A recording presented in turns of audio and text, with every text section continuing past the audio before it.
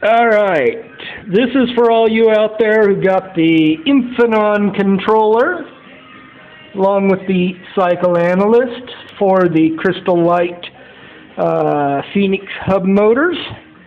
Um, mine had the XLR connector, and when we wired it up color to color, uh, the thing ran in reverse. So your red wire is your 5 volt, your black wire is your ground, you have to leave them connected where they are.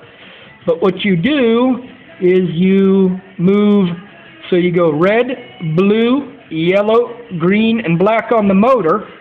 So you have the blue going to the green on the controller, the yellow on the motor going to the blue on the controller, and the green on the motor going to the yellow on the controller to reverse the direction of rotation on the Hall sensors. So here's a little chart. You got the Infineon controller, you got the 5304 motor, and what color goes to what to reverse the direction of rotation. And then you get a nicely working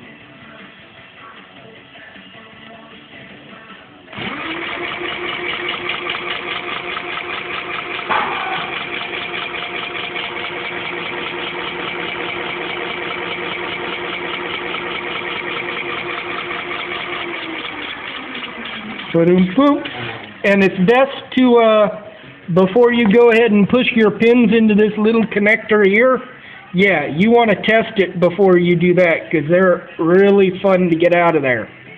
So you, if you got to make that XLR to flat sub D connector or whatever these are called, uh, yeah, test it with the pins carefully first.